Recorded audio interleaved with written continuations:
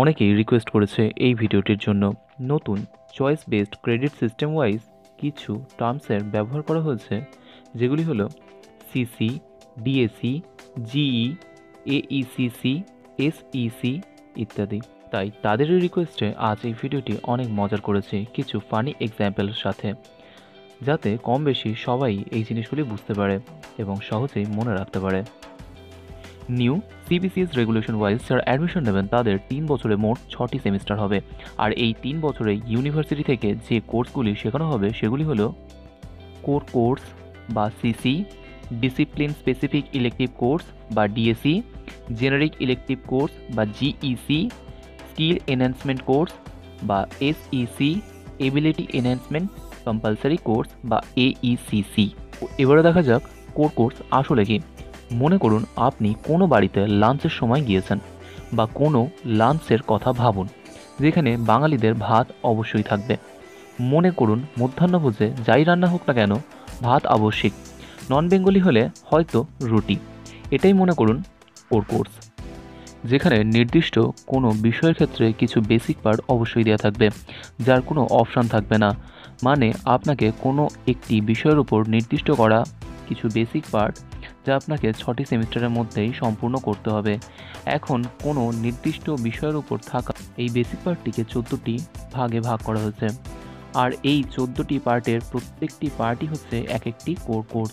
এখন একজন অনার্স স্টুডেন্টের ক্ষেত্রে প্রথম দুটি সেমিস্টারে থাকছে দুটি করে কোর কোর্স এবং তারপরের বছরের আরও দুটি সেমিস্টারে থাকছে তিনটি করে কোর কোর্স এবং তারপরের বছরে অর্থাৎ শেষ বছরে থাকছে দুটি করে কোর কোর্স। তবে বিভিন্ন ইউনিভার্সিটির ক্ষেত্রে সেমিস্টার ওয়াইজ এই ডিভিশন বিভিন্ন সাবজেক্টের উপর বিভিন্ন রকম হতে পারে। লাঞ্চে ভাত তো হলো। এখন মনে করুন এই ভাতের সাথেই আছে ডাল, মাছ, মাংস এবং ডিম। কিন্তু শর্ত একটাই, আপনি যে কোনো দুটি খেতে পারেন। মানে এখানে আপনি একটি অপশান পাচ্ছেন আপনার লাঞ্চকে আরও ডিলিসিয়াস করার জন্য।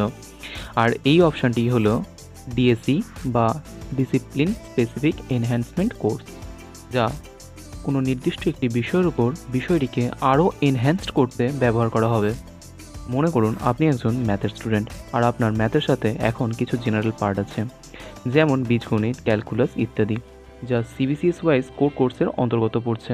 আবার ম্যাথামেটিক্সেরই অন্তর্গত আরও দুটি পার্ট হলো স্ট্যাটিস্টিক এবং ডায়নামিক ম্যাথামেটিক্স যার একটি নিয়ে আপনি পড়বেন। অর্থাৎ অপশনাল কিন্তু এটিই কিন্তু আপনার ম্যাথ সাবজেক্টকে আরও স্ট্রং করবে এনহ্যান্স করবে। আর এটাই হলো ডিএসি বা ডিসিপ্লিন স্পেসিফিক এনহ্যান্সমেন্ট কোর্স এবার আসা যাক জিইর ব্যাপারে। জি অর্থাৎ জেনারিক ইলেকট্রিক কোর্স এটা অনার্স স্টুডেন্টের ক্ষেত্রেই বেশি প্রযোজিত ওয়ার্ড এখন যদি কেউ কোনো সাবজেক্টে অনার্স করে থাকে, তাকে আরও দুটি সাবজেক্ট চুজ করতে হয়, পাঁচ সাবজেক্ট হিসেবে। যেহেতু ল্যাঙ্গুয়েজ গ্রুপকে বাদ দিয়েও আরও আপনাকে তিনটি সাবজেক্ট পড়তে হয় তিন বছরের কলেজ সেশনে এখানে অনার্স সাবজেক্টটিকে বাদ দিয়ে আরও যে দুটি সাবজেক্টে কম্বাইন আপনাকে পড়তে হবে, সেই সাবজেক্টগুলির অন্তর্গত কোর্সগুলি হচ্ছে এক একটি জিইর সমতুল্য। এবার আসা যাক স্কিল এনহ্যান্সমেন্ট কম্পালসারি কোর্স বা এসইসি এতক্ষণ তো লাঞ্চের পূর্ণ মজা নিলেন। ভাতের সাথে আরও দুটি রান্নাকে চুজ করে। কমেন্ট করে কিন্তু জানাবেন ভাতের সাথে আপনি আমার দেওয়া চারটি অপশনের কোন দুটি অপশনকে চুজ করেছেন। আচ্ছা তো এই রান্নাগুলি কীভাবে হলো? এর প্রসেসিংয়ের ব্যাপারে জ্ঞান অর্জন করাই হলো স্কিলকে এনহ্যান্স করা। আর এটাই হলো স্কিল এনহ্যান্সমেন্ট কোর্স বেশিরভাগ ইউনিভার্সিটিতেই এই কোর্সটি অপশনাল করা থাকে। অর্থাৎ দুটি করে দেওয়া থাকে, তার ভেতরে একটি করে আপনাকে পছন্দ করতে হয়। অর্থাৎ প্রতিটি নির্দিষ্ট সাবজেক্টের উপর স্কিল এনহ্যান্সমেন্ট কোর্স থাকবে। আরে, এত কিছু তো হলো, কিন্তু কোন পরিবেশে আপনি এত কিছুর মজাটা নিলেন, সেটা তো অবশ্যই জেনে রাখা প্রয়োজন। আর সেই বিষয়ে জ্ঞান উপার্জন করাই হচ্ছে এইসিসির অন্তর্গত।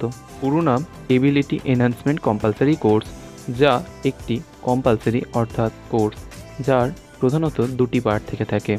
একটি হলো ল্যাঙ্গুয়েজ গ্রুপের পার্ট যার অন্তর্গত বেঙ্গলি হিন্দি এবং ইংলিশ যা মডার্ন ইন্ডিয়ান ল্যাঙ্গুয়েজ বা এমআইএল হিসাবে পরিচিত হয়েছে।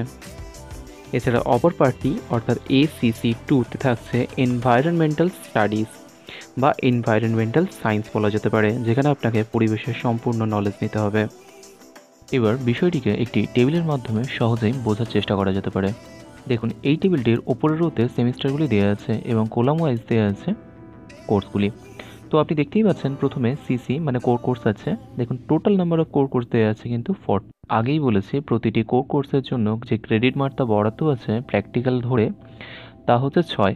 তো সেক্ষেত্রে টোটাল কোর কোর্স থেকে ক্রেডিট আছে এইটটি ফোর আবার যদি সেমিস্টার ওয়াইজ বোঝা যায় বা বোঝার চেষ্টা করা যায়, তো এই টেবিলটি থেকে দেখা যাচ্ছে যে সেমিস্টার ওয়ানে কোর কোর্স থাকছে দুটি ডিএসসি থাকছে না জিই থাকছে একটি এবং এইসিসি থাকছে একটি।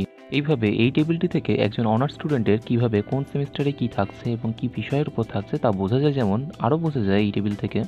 একজন অনার্স স্টুডেন্টের তার অনার্স সাবজেক্টের সাথে সাথে প্রথম সেমিস্টারে থাকছে একটি জি অর্থাৎ একটি পাস সাবজেক্ট আবার দ্বিতীয় সেমিস্টারে থাকছে অপর একটি পাস সাবজেক্ট অনার্সের দুটি কোর কোর্স সহ।